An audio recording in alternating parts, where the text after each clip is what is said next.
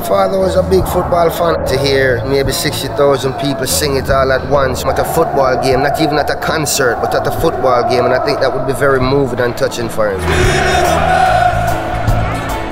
It me a lot of goosebumps.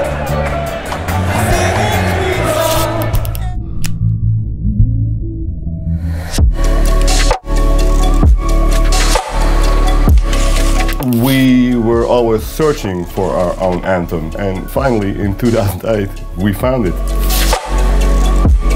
I was the guy who kick-started Ajax using Bob Marley's Three Little Birds as their anthem. Cardiff City were playing their final pre-season friendly and ended up nil-nil.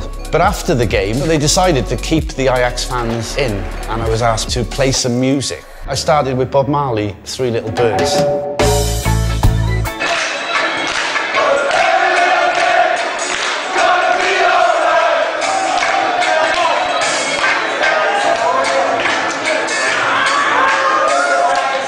Dancing, clapping, singing along to, to the song.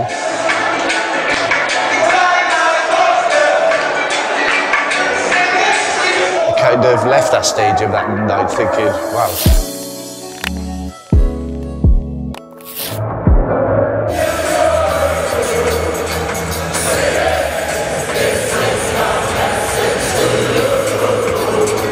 Everybody knows the song, every supporter knows it. It's a great feeling when you enter the pitch and everybody is happy with the song. You see everybody can run more. Yeah, it's about to fly.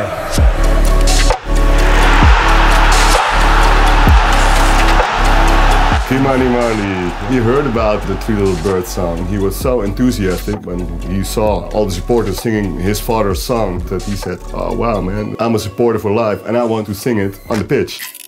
Yeah, my father was a big football fan, you know. Um, football and, and the music kind of goes hand in hand for him. To be able to hear so many people at the Ajax Stadium at halftime sing Three Little Bird would mean so much to him, you know, to know that his hard work has touched so many hearts that they made it the theme song, you know, that's awesome. Being able to perform the song there, to feel the energy and the vibration in the stadium on that day, it did something to me that, you know, I'll never forget was moving, you know, it was ground shaking, a truly magical moment.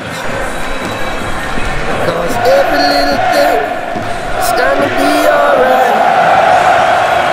Ajax, that's my team. From now on until the day my number is called.